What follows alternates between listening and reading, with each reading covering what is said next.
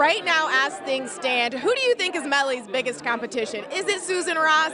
Is it this new hot Democratic guy Vargas? What is it? You know, the greatest thing is you haven't even scratched the surface yet. There's so much more to come. Our writers are having such a great time exploring our primary at the same time that a real primary is happening. So I think you'll see you'll see a lot more interesting candidates emerge, even this week. You know, between Mellie Grant and Susan Ross, you have two very, very different people.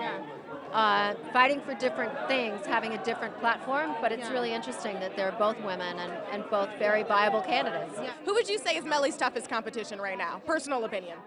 Um, Vargas. Well, no, no. I mean, Susan Ross. I don't know. It really, it really depends. I mean, Vargas is very tough as a Democrat, um, and a war hero and all that. But don't underestimate Susan Ross. She's she's she's my candidate. But, you know. If I had to put my money on it, I would say, I don't know. When in doubt, I'm gonna say Mellie, but that, but there, but there's no. That's not an informed guess. That's just, that's just a pick between the two. Yeah. Uh, because I think it's gonna be tough.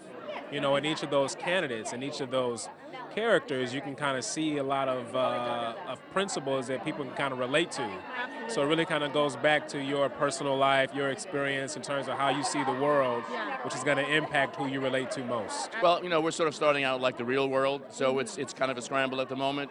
Um, if you sort of look at the st- statistics, Susan has the president on her on her side, so that's a big plus for someone who's running for the for the White House. Melanie has all kinds of op problems in that she's the ex-wife um, running running again, so that's a difficulty for her, and we have to find out who else is running. Yeah. We are in the middle, of course, of a presidential race in, real real life. life. and on the show. then this thing on Scandal. How has that been for you, creating this story, telling this story in the middle of what you're watching on the news every night? It's really fun. I mean, we don't create it, the writers create it. So it's wonderful that what Shonda and the other Scandal writers are doing is so relevant and so exciting. And I hope that it actually makes people even more interested in what's going on in real life so that we all participate at the level that we need to. What would you say is the biggest similarity between these two races as they stand?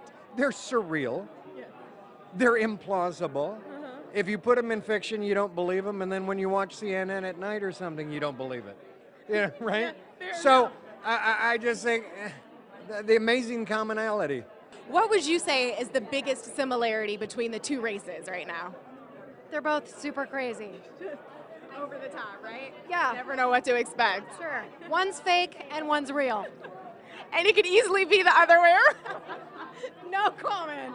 If you had to give a real life candidate that Mellie would have the toughest time up against right now, is there anyone that you'd pick? Um, I'd probably pick Hillary. She's smart, she's strong, she knows what she wants. Yeah, she'd make a great president. So yeah, I'd probably pick Hillary.